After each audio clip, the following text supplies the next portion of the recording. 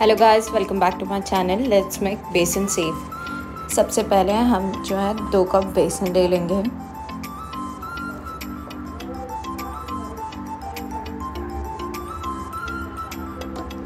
और हम इसमें ऐड करेंगे half tablespoon turmeric powder यानी हल्दी, जीरा पाउडर हींग, लाल मिर्च पाउडर और अजवाइन इसे रब करके डालें।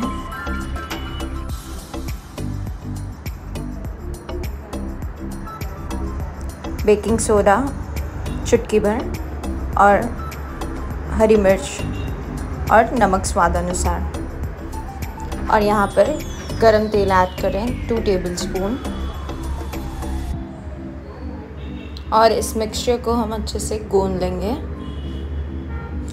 और एक सॉफ्ट डो क्रिएट करेंगे।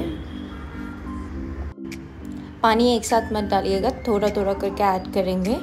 और देखेंगे, आसानी से जो है डो क्रिएट हो जाएगा।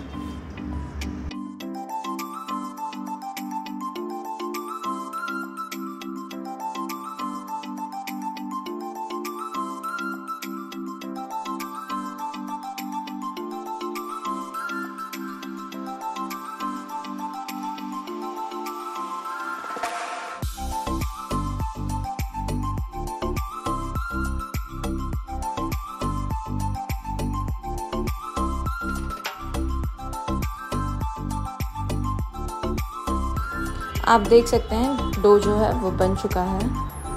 हम इसे अच्छे से शेप कर लेंगे ताकि हम इसे मशीन में ऐड कर सकें।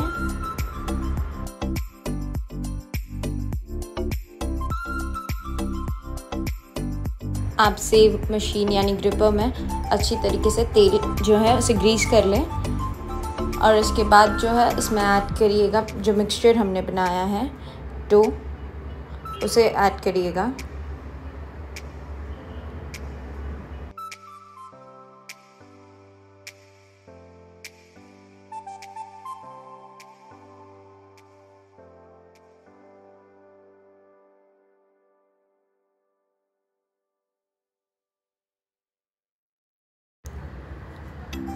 और इसका जो ढक्कन है, उसे प्रॉपरली बंद कर दें और मीडियम हॉट ऑयल में इसे अच्छी तरीके से हम सेव निकालेंगे। आप चाहे तो इसे राउंड भी बना सकते हैं या छुरी की सहायता से इसे कट करके भी बना सकते हैं। आप देखेंगे मैंने दोनों ही तरीका जो है शेयर किया है। पहले जो है मैंने राउंड वाला बनाया उसके बाद जो छुरी से कट करके बनाया है। आप ऐसे भी बना सकते हैं और इसे बनाने के बाद थोड़ा सा ब्रेक कर सकते हैं।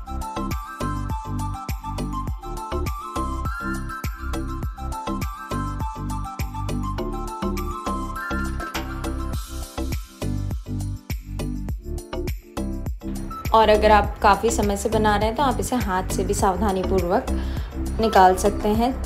मन चाहे शेप अगर आपको बहुत ज़्यादा लंबी शेप चाहिए तो आप उस हिसाब से इसे निकालें।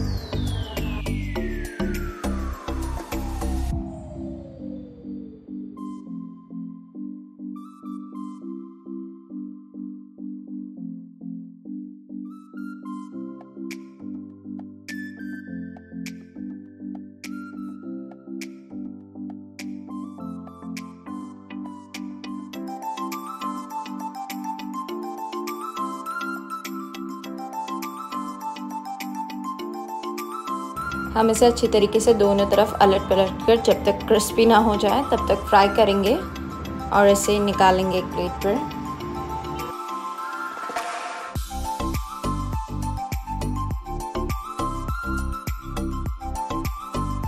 सेम प्रोसेस फॉलो करते हुए हम सारे सेव के जो पैचेस हैं रेडी कर लेंगे।